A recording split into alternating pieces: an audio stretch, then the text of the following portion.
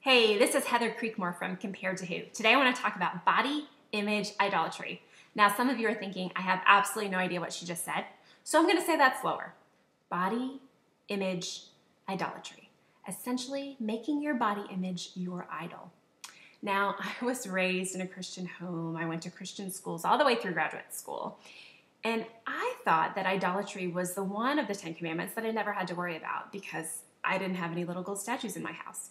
In fact, we didn't even have a garden gnome just in case that was some sort of idol. But you see, that's not really what idolatry is about. Idolatry is about replacing our Savior with something else that we believe can save us. And the truth is, for many decades of my life, I believed that beauty or a better body would save me.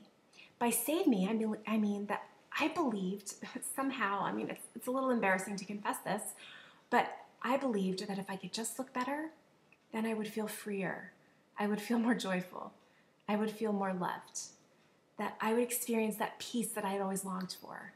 You see, I thought all those things would come when I could stop dieting and just would finally be at a certain size and I would just be happy there forever. But that wasn't really true. And in fact, that was part of my idolatry. I thought that a better body would save me. If you struggle with your body image, can I just encourage you to explore the concept of body image idolatry along with us on compared to who.me? It's something that you don't hear talked about a lot, so I understand that it's unfamiliar, but perhaps we can kind of dig into it together. For me, I found that once I was able to identify the root of my body image issues as body image idolatry issues, I was able to find new freedom that I never found through trying to change my size or, or losing that couple pounds I thought would help.